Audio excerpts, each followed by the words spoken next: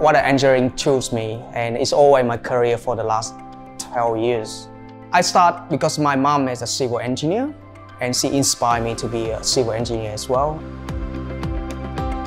I'm doing my PhD on environmental and water engineering and my study is about developing a new way to beneficially reuse the waste from the water treatment process. So my study very important for me and also important for Victoria because my study will assist Victoria to achieve net zero and more sustainable waste management. Uh, so I've been teaching Duc for just under three years now. Um, he came here just before the start of the pandemic in 2020. We like working on very applied projects here, projects that have real world value and impact, and that's exactly what he's been doing.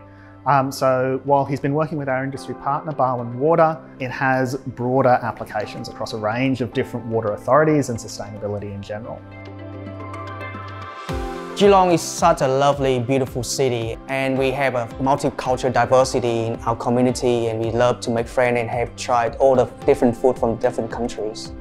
I created a group. The group become a vital sort of information for the new student coming to Geelong. They can find information about accommodations, about study tips, about uh, how also how to make friends in Geelong. And now we have more than 600 people.